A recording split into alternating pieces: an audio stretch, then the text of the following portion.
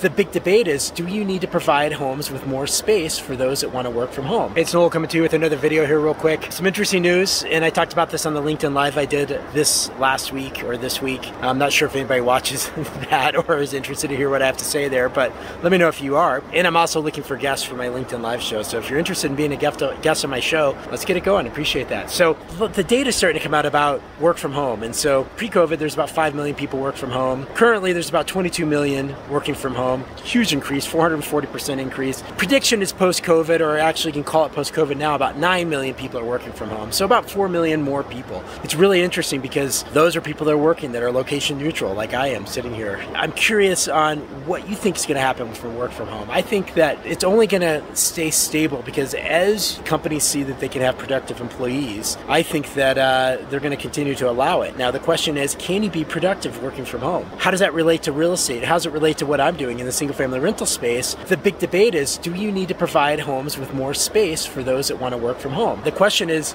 is it relevant on the type of rentals that you make and the, the type of homes that you're making? I think it's foolish just to assume every home buyer wants more space.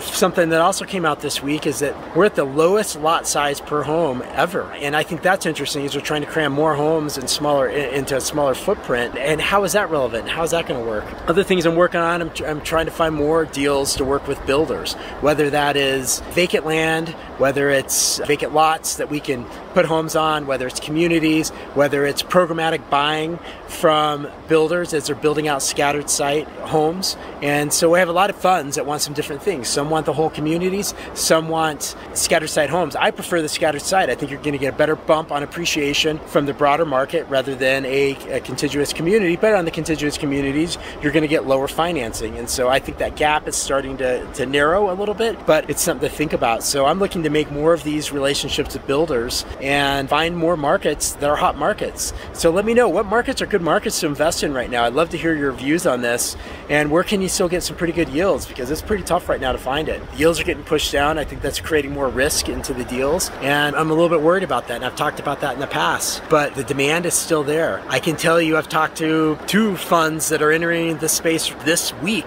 that we're going to be working with that are going to be buying a lot and it's not just new construction homes. They're going to be buying existing portfolios of homes. They're going to be buying off the MLS. More competition in this space. It's going to be interesting where the yields end up. So tell me what you think and reach out to me. You know, we've got our RW Select program going where we're putting homes on our, our RW Select site that are new construction homes that might yield lower than what a fund would want, but individual investors, individual buyers are interested in buying those. We've got community deals that we're selling that are, are pretty low yields, but if you're 1031 exchange buyer and you just sold your office building, you want to get into a pretty stable asset that's going to be a higher cap rate than a multifamily deal, talk to me because they're out there. A whole lot to put out there in one video, but uh, I've got a lot going on. My focus this week is getting more deals going for 2021. So when we're looking to buy programmatic homes from builders, we're not really even looking in 2020 anymore. We're really looking to 2021 and we'll commit to homes way before they're finished. And, you know, I'm curious, you think that's a good idea or not? What do you think with everything that's happening in the single family rental space? Do you think it's positive or negative? Let me know.